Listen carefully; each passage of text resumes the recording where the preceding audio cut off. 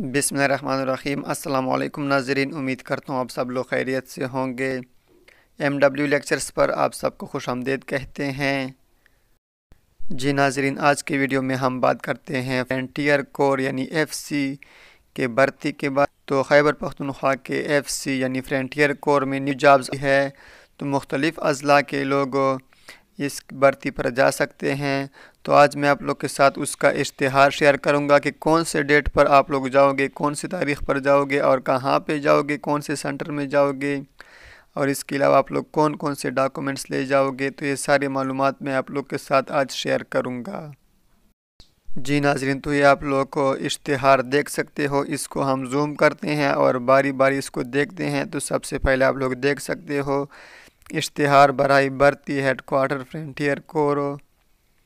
तो यहाँ पर आप लोग देख सकते हो, खैबर पख्तनख्वा भर्ती और रजिस्ट्रेशन मंदरजा झेल प्रोग्राम के मुताबिक होगी।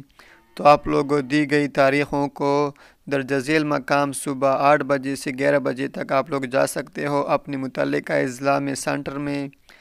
तो यहाँ पर आप लोग देख सकते हो, सबसे पहला जो ज़िला दिया है वो जनूबी वज़ीरस्तान का है। इक्कीस नवंबर को आप लोग जा सकते हो और headquarter south Waziristan scouts Wana. दूसरे नंबर पर डेरा इसमाइल ख़ान है। इस तरह चौथे नंबर पर टांग है। तो उसके आगे तारीख़ भी लिखी है और उसका सेंटर भी लिखा है कि आप लोग कौन से सेंटर में जाओगे? यानी सुबह आठ बजे से ग्यारह बजे तक आप लोग जा सकते हो और वहाँ पे भर्ती में हिस्सा ले सकते हो। इसके अलावा आप लोग कौन कौन से डॉक्यूमेंट्स ले जाओगे तो वो भी मैं आप लोग को बताता हूँ। तो यहाँ पर आप लोग अपना सेंटर देखो, अपना ज़िला देखो सबसे पहले कि आप लोग का ताल्लुक कौन से ज़िले से है।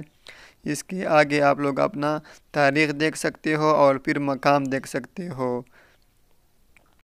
यहाँ पर भी आप लोग अपना मुतल डिस्ट्रिक्ट और सेंटर देख सकते हो। इसके नीचे आप लोग देख सकते हो, अगर आप लोग नर्सिंग या कुक वगैरह के लिए अप्लाई करना चाहते हो, उसमें भर्ती होना चाहते हो तो नीचे वो भी दिए है, ई एम ई सिपाही नर्सिंग कुक मसाली सिपाही, इस तरह ए टी सिपाही तो ये वगैरह लिखे हैं और इसके आगे डेट भी लिखा है और स्काउट इसके आगे लिखा है, यानी मकाम।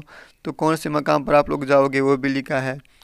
सबसे नीचे फिर आप लोग देख सकते हो भर्ती के लिए मैार तो कद भी लिखे है, यानी पाँच फुट छः इंच लिखे है। इसके अलावा आप लोग चाती भी देख सकते हो, इकतीस और तैंतीस इंच है।